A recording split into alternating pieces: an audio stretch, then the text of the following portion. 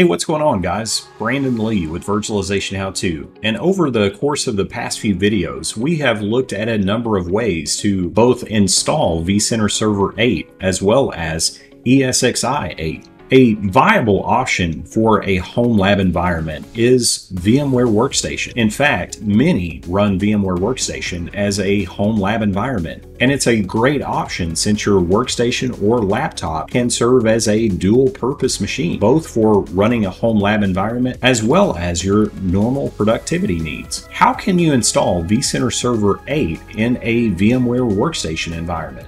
In fact, can you install vCenter Server 8 in VMware Workstation? Well, stick around. We are going to look at installing vCenter Server 8 in VMware Workstation to see how you need to go about doing this. Are there any issues that you might run into? Well, let's dive right in.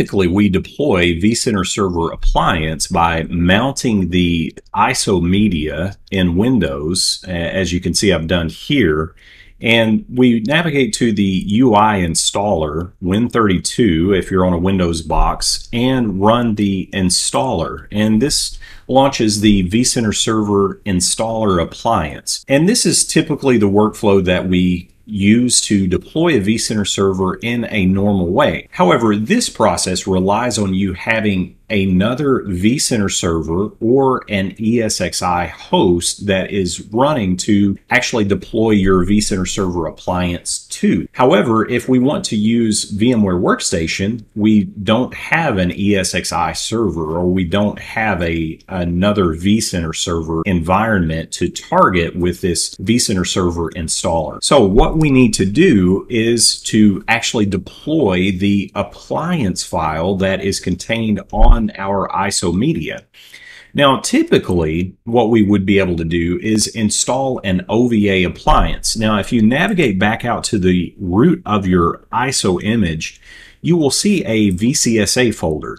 And inside the VCSA folder is an OVA file. It's the VMware vCenter Server Appliance 8.0 OVA appliance file. However, I tried this when I tried to deploy directly to VMware Workstation. Everything worked fine in phase one, which is the portion of the installer that actually deploys the appliance so that you can then in phase two finish out the configuration, such as your SSO domain configuration, etc. However, at the end of phase two, I got an error message, the installer not working correctly, and it was a fatal error. And as it turns out, William Lam actually wrote a blog post about this. There is some configuration that we need to change. The workaround for this particular issue is to extract the OVA appliance to an OVF file. And once we do that, then we're able to modify some configuration that we need to modify so that we can successfully deploy the appliance. So what I'm to do is show you guys the process to first of all create an OVF file from this OVA appliance file that we have at the root of our ISO image for uh, vCenter Server 8. So what I'm going to use is what's called the OVF tool. And as you can see in the root of the ISO media, VMware actually includes the OVF tool. You can also download it from VMware. If you just Google OVF tool, you're going to land on that download link. However, I'm just going to simply use the OVF tool. I've copied it to my Windows box. I've added a path statement so I don't have to worry about the path to the tool. And quite simply, all you do is you basically point the OVF tool to the OVA appliance file, and then you convert that OVA appliance to an OVF file. We simply say OVF tool, feed in the OVA appliance, and then we give a name to our OVF appliance file. So I'm going to do that. And as you can see, it uh, spits out a thumbprint. And then also we get the progress of the creation of this OVF appliance file. So I'm going to come back when this is completed and we'll uh, take it from there. As you can see, we have successfully created the OVF file from the OVA appliance file that was contained on the ISO image. What we're going to do now is navigate to the directory where we created the OVF file. As you can see, we have the OVA file file still there. If you want to, for housekeeping purposes, you can go ahead and delete your OVA file. We won't need that as it won't work correctly within VMware Workstation as it is. Now what we're going to do is delete the manifest file. So we're going to simply just delete the manifest file now we're going to actually edit the OVF descriptor file. So we're going to go in, we're going to open this. I'm going to open it with Notepad++. And we're going to search for a stanza in the configuration file. And I have it in a notepad document where I can copy and paste it. Uh, it is called guestinfo.cis.upgrade.import.directory. Basically, the error that we get in VMware Workstation in phase two is because this parameter is not populated. What we're going to do is edit the OVF file so that we can make this parameter where it's essentially optional. I'm going to copy this and we're going to do a control F. We're going to find it. We're going to change this value for user configurable to true. And we're going to save the OVF file. And that's it. Now we have essentially made the change that is going to allow us to successfully deploy in VMware Workstation. Now we can go to VMware Workstation I'm going to minimize everything else.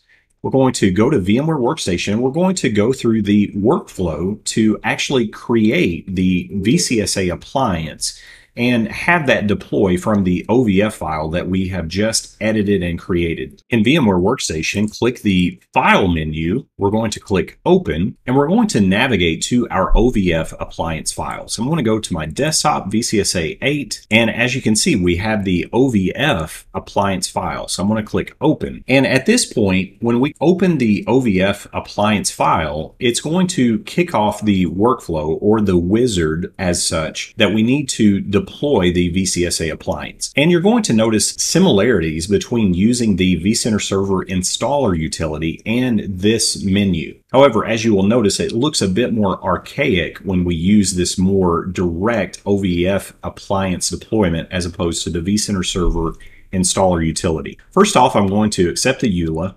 I'm going to click Next. We're going to name the virtual machine, call it VCSA test. We're going to leave the default for where we want to store the virtual machine. I'm going to click Next. Here we choose the sizing for our virtual hardware. I'm going to leave it at the default of tiny vCenter server with embedded PSC. On our networking configuration, we have a bit of configuration that we need to populate.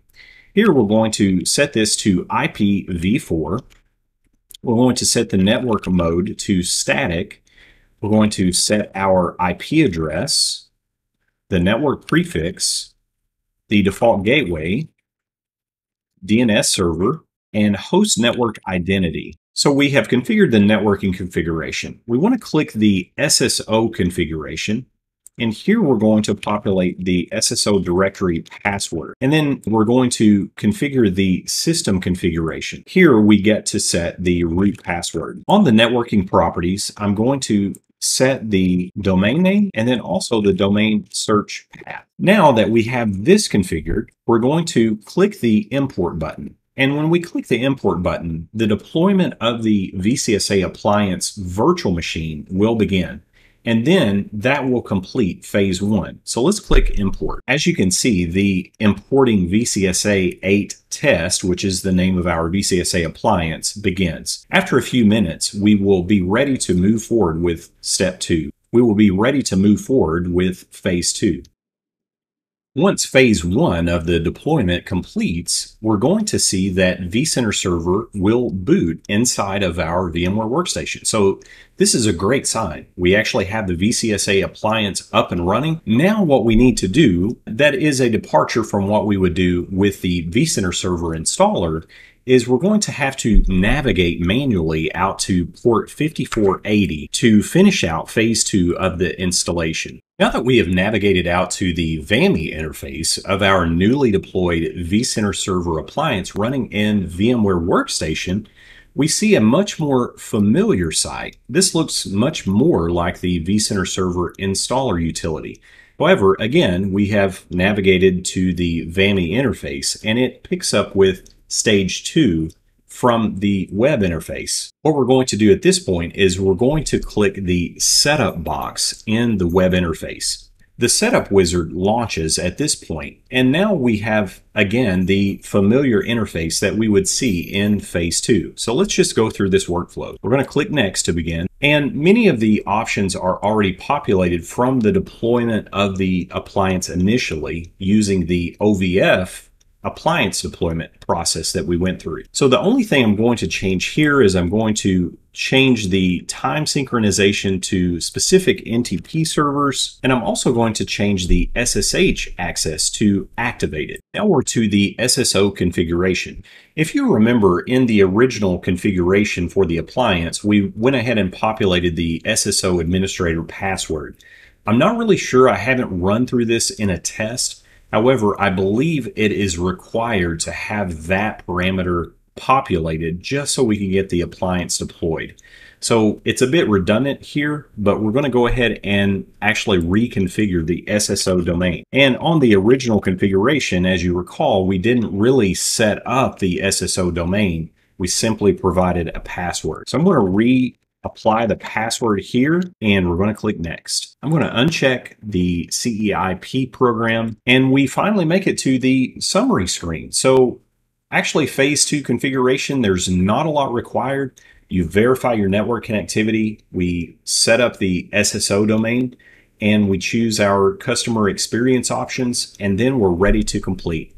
Once I click the finish button, we're going to get the warning dialog box that basically says, at this point, we can't interrupt the appliance configuration process. It's either going to complete the process or it's going to be left in a state of we're probably going to have to redeploy the appliance. So at this point, I'm going to simply click the OK button and phase two will begin the progress. And this will take, again, a few minutes. After just a few minutes, my VMware vCenter server running in VMware Workstation refreshed the page, and now we can see that we have a login page for VCSA vCenter Server 8. So we know that we have a successful deployment. VMware Workstation is a great environment to run a home lab. And especially if you don't want to invest in dedicated home lab hardware, VMware Workstation allows you to have a laptop or a workstation that is dual purpose. You can run lab resources and you can use it for general productivity. With the process that we went through today, you can deploy vCenter Server and vCenter Server 8 in VMware Workstation, and it works great. And it makes for a really nice experience to play around with the newest vSphere.